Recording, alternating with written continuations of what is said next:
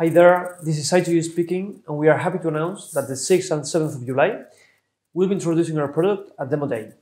We'll talk about how to manage a warehouse with the last technologies and how to achieve the complete automation. Hope to see you there.